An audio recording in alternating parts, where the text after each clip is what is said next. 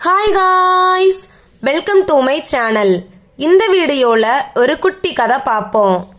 இரண்டு மரம். ஒரு ஆற்றங்கரையில ரெண்டு பெரிய மரம் இருந்துச்சு. அந்த வழியா ஒரு சிட்டுக்குருவி பறந்து வந்துச்சு. மரத்துக்கிட்ட ஒரு உதவி கேட்டுச்சு. மழைக்காலம் வரப்போகுது. அதனால எனக்கும் என்னோட குஞ்சுகளுக்கும் தங்குறதுக்கு இடம் இல்ல. உன்னோட மரத்துல ஒரு கூடு கட்டிக்கவா அப்படின்னு கேட்டுச்சு. முதல்ல இருந்த மரம் முடியாதுன்னு சொல்லிருச்சு. அடுத்த மரத்துக்கிட்ட போய் உதவி கேட்டுச்சு. அடுத்த மரம் சரி கட்டிக்கோன்னு சொல்லிருச்சு. குருவியும் அழகான ஒரு கூடை கட்டி சந்தோஷமா வாழ்ந்து வந்துச்சு. திடீர்னு பலத்த மழை அடிச்சுச்சு. ஆற்றுல வெள்ளம் பெருக்கெடுத்து ஓடுச்சு. முதல் மரத்தை அடிச்சிட்டு போயிருச்சு. தண்ணீர்ல இழுத்துட்டு போகக்கூடிய மரத்தை பார்த்து குருவிக்கு ஒரே சிரிப்பு. எனக்கு வசிக்க கூடு கட்ட இடம் தந்தியா நீ? இல்ல இல்ல.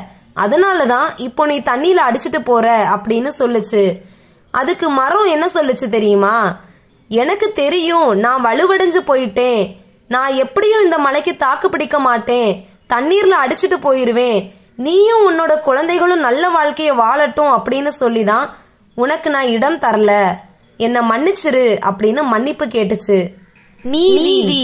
உங்களை யாரும் நிராகரித்தால் தயவு செய்து தவறாக நினைக்காதீர்கள். தேங்க்ஸ் ஃபார் வாட்சிங் வீடியோ பிடிச்சிருந்தா லைக் ஷேர் அண்ட் சப்ஸ்கிரைப்